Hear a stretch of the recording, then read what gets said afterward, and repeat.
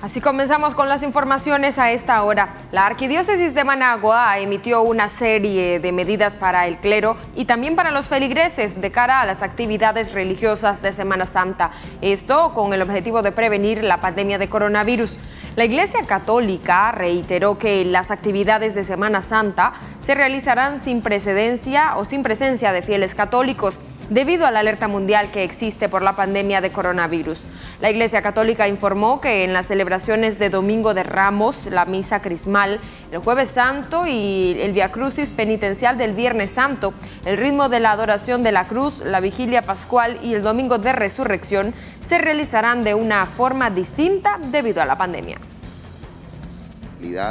Eh, creo que es una experiencia positiva y tenemos que seguirla practicando, de tal manera que en la Semana Santa podríamos hacer un mixto entre lo presencial y lo virtual.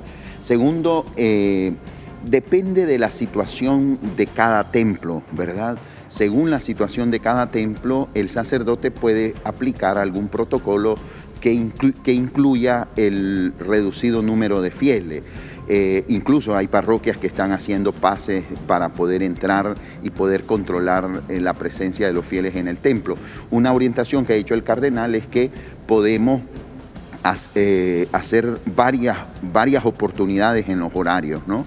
Por decirte algo, aquí nosotros en la parroquia, en Domingo de Ramos, vamos a tener en el templo parroquial cinco opciones y vamos a celebrar el Domingo de Ramos desde el sábado y en las capillas, pues por lo menos una celebración, de tal manera que se nos hacen más o menos unas 10 celebraciones y yo creo que con eso tratamos de atender a la feligresía.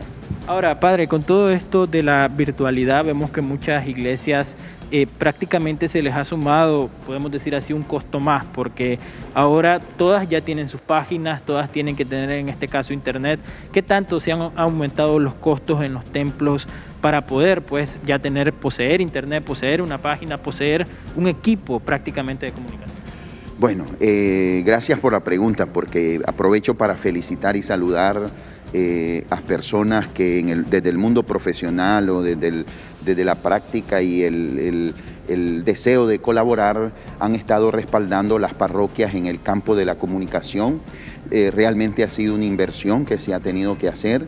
Eh, por supuesto hay que reconocer que no todas las parroquias tienen las posibilidades de tener toda la tecnología a disposición. El tema del, del Internet en Nicaragua en Nicaragua, las congregaciones religiosas, seminarios, iglesias y grupos parroquiales han utilizado la modalidad virtual para no descuidar su trabajo pastoral en medio de la pandemia de COVID-19, lo que ha significado una inversión adicional y mayor conocimiento de las tecnologías de la información y la comunicación.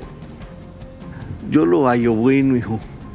¿Sabe por qué? Porque dice la Sagrada Escritura, el hombre prudente mira el peligro y se aparta. Entonces hay que cuidarnos. Pero por eso les decía que hay que dar el corazón a Dios.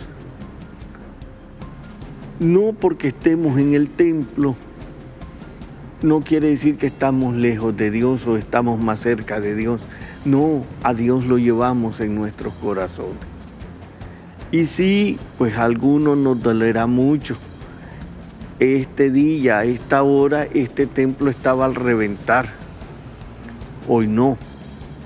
Pero te garantizo, hijo, de que este templo está lleno de cada uno de los corazones de todos los cristianos, de cada una de nuestras intenciones y nuestras oraciones que le vemos a Dios nuestro Padre. Yo califico que fue una...